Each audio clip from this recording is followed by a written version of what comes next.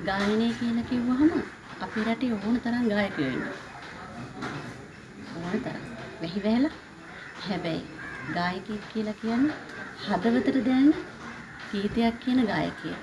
ඒ අතරින් ගත්තහම අපි ජෝති අයියා.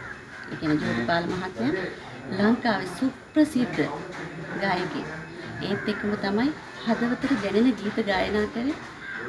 මව්වරුන්ගේ සෙනෙහස දැනෙන ගීත ගායනා කරේ. පියවරුන්ගේ සෙනෙහස දැනෙන ගීත ගායනා කරේ. ඔහොම පමණයි. සදාකල් මුමියන චරිතයක් වුණා අපේ ජෝතිපාල අයියා. ඉතින් අපේ ලංකාවේ සියලුම දෙනා මම හිතනවා ලංකාවේ නෙමෙයි ලෝකවාසී සියලුම දෙනා ජෝතිපාල කියන නමට තාමත් ආදරේ. කවදාවත් ඒ හඬ මතකයෙන් ඈත් කරන්න නම් බෑ. ඉතින් අපි හැමදාම එදා වගේම අදට හෙටට ජීවිත කාලය පුරාවට ජෝතිපාල කියන නමට හදවතින්ම ආදරේ. මම ටෙලිනාට්‍ය චිත්‍රපටි සහ වේදිකා නාට්‍ය ගායන ශිල්පිනී අනුෂා දිහානි